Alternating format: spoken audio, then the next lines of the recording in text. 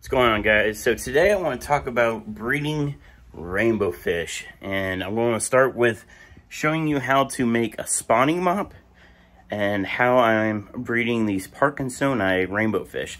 So let's get into it first by showing you the fish and then how to make the spawning mop and then going through uh, the rotation of moving the spawning mops around. But I hope you enjoy this video and click that subscribe button if you're not subscribed. Let's get into it.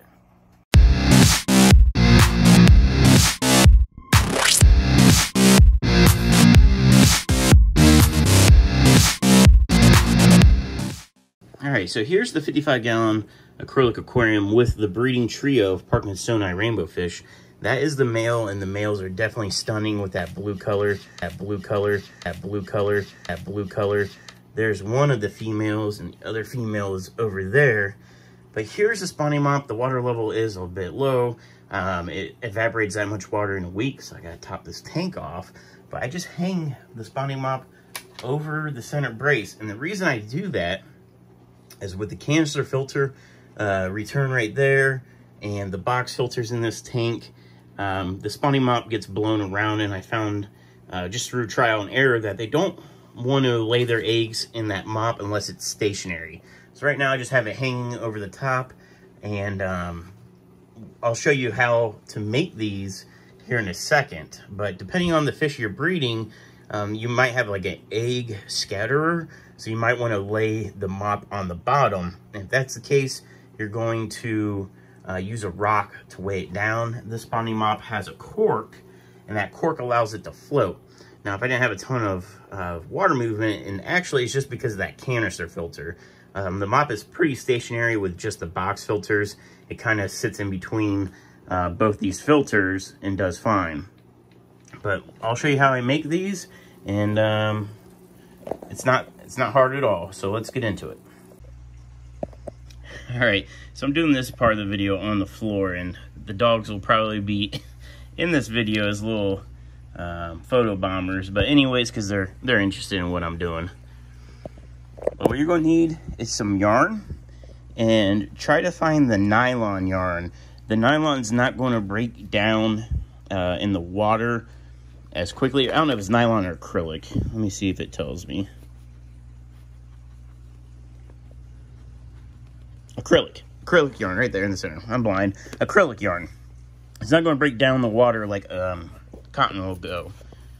There's Havana. The other thing you're going to need is some scissors. And you can use corks. These are wine corks. Um, so you, you can... All right, girls. Come on. you're going to need some wine corks. And if you don't have wine corks, you can buy wine corks online if you uh, don't drink. Um, I actually drink one of these bottles, and the other one is from a coworker. Oh my gosh, girls, it's not for you. I gotta hide the corks. Back up, back up, back up. The other one, the other thing you do is use some styrofoam. This is just a piece of styrofoam. I wrapped it around. It also works. It doesn't look as good, but it works. That's for floating. If when, like I said, if you're not trying to float it, you can wrap this around a rock and keep it on the bottom.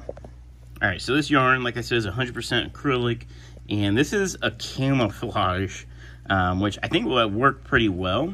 I had, you know, I've been using green. Um, the mop that's in the tank right now is actually a darker green than this. This is lighter green. They still lay in either or.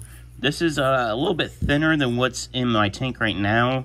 Um, I don't really think it makes a difference. I kind of like the thicker stuff personally, and um, this is about the same width um, as this new stuff. But what you're going to do, and I've seen people take a box and they wrap the yarn around a box. I just use my arm. And I'm not really sure how I'm going to show this. But, you know, it's like an extension cord where you kind of wrap it from your elbow um, up to make a loop. So let me do that, and then you guys will kind of see what I'm talking about. All right, that's how I meant by wrapping around my arm. And you could use a box. I just find this way quicker and easier just to wrap it around my arm like that. What you're left with is, you know, a loop. And what we're going to do is the starting string, we're going to wrap it around where my thumb is to tie this together. And then we're going to cut off the extra down here at the bottom. All right, so I have it tied off at the top. I cut, cut off the extra. And now we're just going to take the scissors and cut right in the middle of this bottom loop. All right, the bottom of the loop's cut, so now we're kind of left with, I don't know, pigtails, I guess you want to call it. So from here, this is kind of long, and I do uh, this mop long because um, I hang it over that center brace in the tank. After hanging it up top, it gives me the perfect length. Um, if this is too long and you want short mops, zoom out here. Before you cut that bottom loop, well, I guess you don't even have to before you cut it, but uh, before you tie the top, you can fold this over in half again. Like that, tie it up here, cut that loop right there, and then it's, you know, half the length, it's shorter. Also makes it more dense. Um, this probably needs to be more dense. I probably need to do some more, which is easy because you just basically make another one of these, but then you tie them together. So let me add some more to this. All right, that's way better. I just tied a second one to it. So you can customize it, you know. I didn't get that right on my first try. And um, you can make it as thick or as thin as you want. And the thicker the yarn, the width of the yarn, I find it a lot easier to make these. But now we're going to add the cork. And this is uh, not rocket science either. Is it? All right, the way I add the cork to the mop is I literally just tie a string around it. Um, there's people that will wrap the whole mop around the cork. Um, I just feel like you don't really need that. I just tie a really tight knot and it holds it. It's not like this thing is going down a river. Um, it just needs to float in the aquarium and that usually does the trick. And, um, you know, now we have a spawning mop.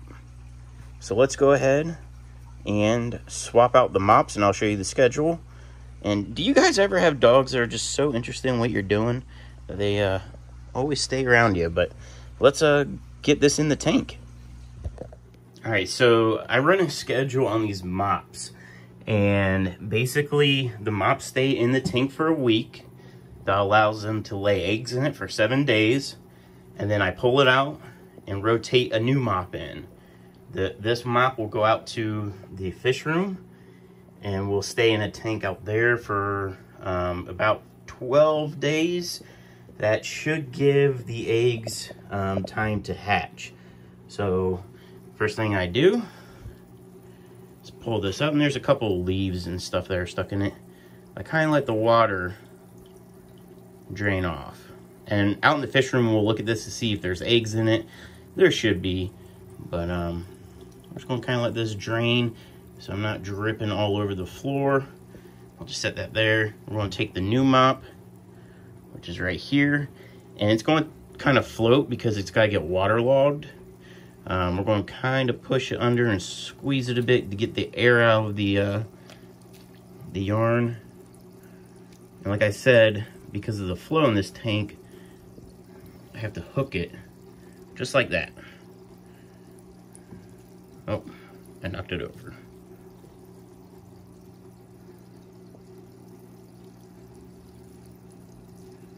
All right. There it is. It's starting to sink down. It's it's a little bit longer than actually I really need, but it'll do the trick. And um, if they don't like this mop being that so long, I mean, I guess I'll have to try it. Um, I could always cut it a little bit shorter, but I'm interested to see if they like it being that camouflage color. So it's got all the different variant variances of colors in it. Um, it'll be interesting to see what they think of that. But let's move this out to the fish room. All right, we're out in the fish room and here's the last mop um, that I moved out here. And unfortunately, this tank is so planted. I mean, it's a jungle. It's really gonna be impossible to see the fry um, in here because they are so tiny um, that they're going to be hidden in this vegetation so well, which is kind of why I want to put them in here. There's a super red right there. Um, but there's going to be a lot of little things they can snack on in here. But um, that's all I do is I just set the mop in here and I leave it in there for, you know, probably about 12 days. And then I pull this out. I wring it out.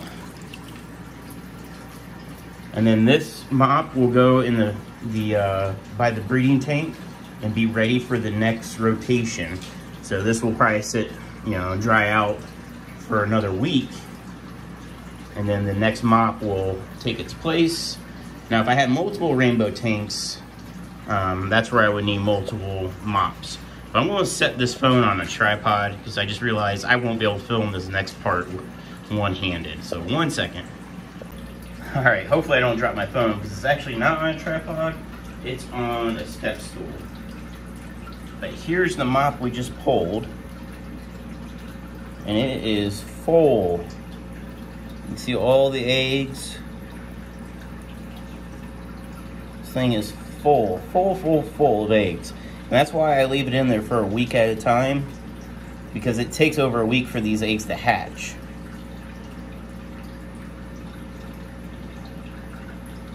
Just full of eggs, full of them. It's a really, really good mop. All right, so ton of eggs. And we're just gonna put the mop in there and we'll let sit in there for, you know, 12 days to make sure if they're gonna hatch, they'll hatch. And then we'll start the rotation again. All right, guys, so just kind of want to show you how to make the mop. It's super simple, anybody can do it. Um, improvise as you go along. I definitely do. And then I just want to show you the time frame kind of on, the, at least on the Parkinsoni rainbows. Um, the 12 day is like a good um, starting point on when those eggs will hatch. Um, it could be up to 14 days. Um, could be as soon as 10 days. But I go 12 days. If they hatch, they hatch. If not, I'm just going to keep those mops rotating. Um, anyways, if you like the video, give me a thumbs up. If you don't like the video, give me that thumbs down. Uh, if you have any content that you guys want to see in the future, if you have any questions, let me know. And um, I might even start some quick, um, like, answering question videos. Um, I actually saw uh, Kamp Kenan does that. I thought that's a really good idea to, um, instead of, you know, always answering comments, which I do. I try to respond to every comment, but uh, maybe in the future I can do a video response. So that way if anybody else has the same question, they don't see the comment or the reply, um, it will help more people out. But anyways, guys, thank you so much for watching. Until next time, keep tanking along. See ya.